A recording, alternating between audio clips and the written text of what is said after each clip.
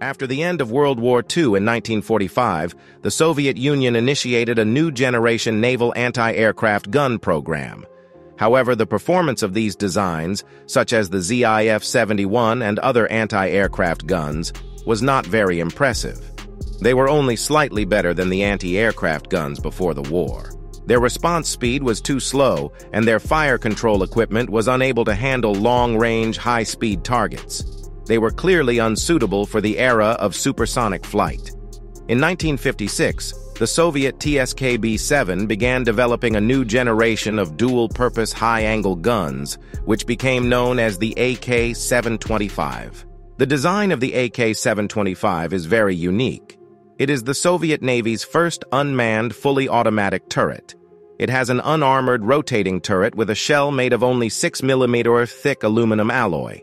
To prevent water vapor penetration and condensation, the shell can be fully enclosed. The interior and some of the exterior are covered with polyurethane foam insulation.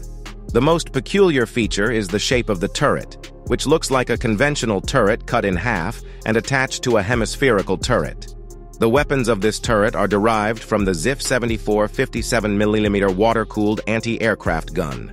Two of these guns are installed side by side in the turret. These guns have a barrel length of 4.275 meters and a recoil stroke of 30 to 37 centimeters. On the AK-725, each gun is supplied with a super long ammunition belt with a capacity of 550 rounds. Combined with the water-cooled structure, the firepower of the anti-aircraft gun is quite good. The theoretical rate of fire of the AK-725 is 200 rounds per minute, and it can sustain continuous firing of 100 rounds. It is impractical to store 1,100 rounds of 57mm ammunition inside the turret. Therefore, an ammunition supply mechanism is installed below the turret mounting seat. Usually, two ammunition handlers are assigned here. They are responsible for replenishing ammunition to the empty ammunition belt and collecting spent casings. However, their purpose is to ensure the continuity of ammunition supply. The initial loading of the gun and replenishment of ammunition to the belt are assisted by hydraulic mechanisms. The rotation and elevation of the turret are powered by hydraulic systems.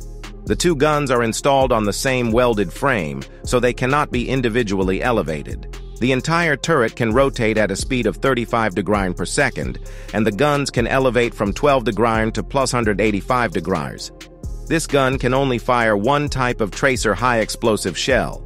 The shell weighs 6.6 kilograms and is 536 millimeters long. It has an initial muzzle velocity of 10-20 meters per second.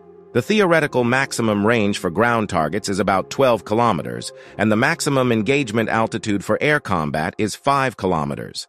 The tracer burns for about 10 seconds. It is equipped with an MGZ-57 impact fuse, which can briefly delay the detonation of the warhead after triggering, causing the explosion inside the target.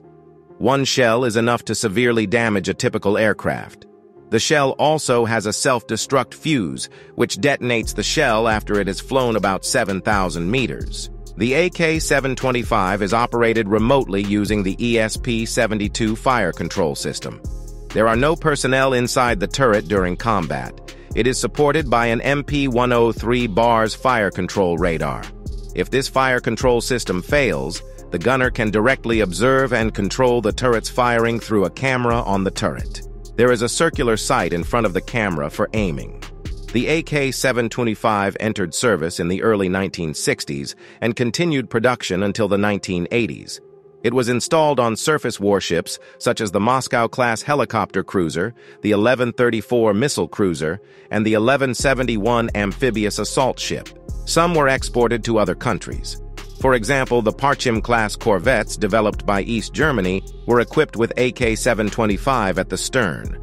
These corvettes were also exported to Indonesia.